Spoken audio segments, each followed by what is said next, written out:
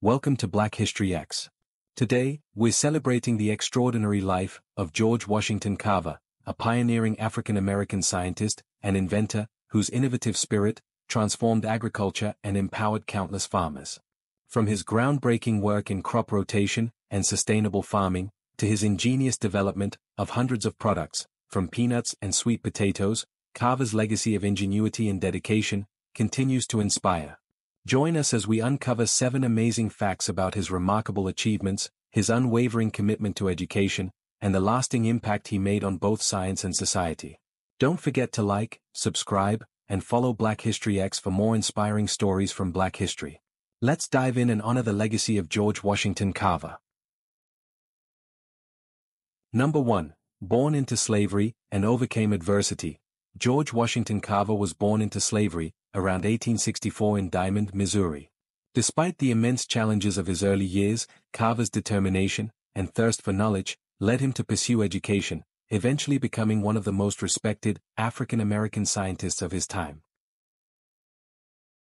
Number 2. First African-American at Iowa State Agricultural College, and a trailblazer in education. Carver was the first African-American student at Iowa State Agricultural College, now Iowa State University. There, he earned both his bachelor's and master's degrees in agricultural science, breaking racial barriers, and setting a precedent for future generations of black scholars.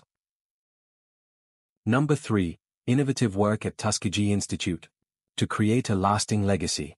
For over 40 years, Carver served as a faculty member at the Tuskegee Institute in Alabama. He established an experimental agricultural program that taught farmers sustainable farming practices, significantly improving crop yields and promoting economic self-sufficiency among impoverished farmers. Number 4. Pioneer of crop rotation and soil health.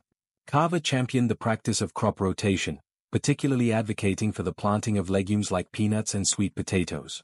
This method helped replenish nitrogen in the soil, enhancing fertility and reducing the need for chemical fertilizers, thus promoting long-term agricultural sustainability. Number 5 prolific inventor of agricultural products, beyond peanuts.